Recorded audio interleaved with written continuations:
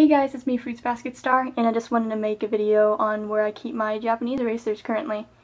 Uh, so I keep them in three separate black boxes. Uh, you can get these boxes at Ikea for about $3.99 I believe.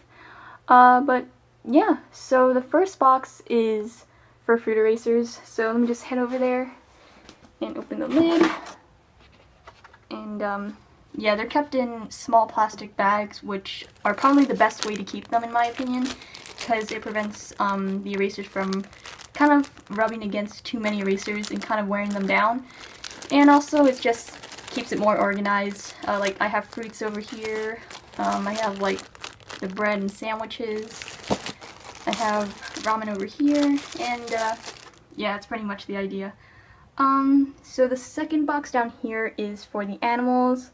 And the third box is for um, miscellaneous erasers. And uh, yeah, so that's where I keep my erasers in currently. So yeah, uh, please rate, comment, and subscribe. Let me know what you guys think. And I will see you guys in the next video.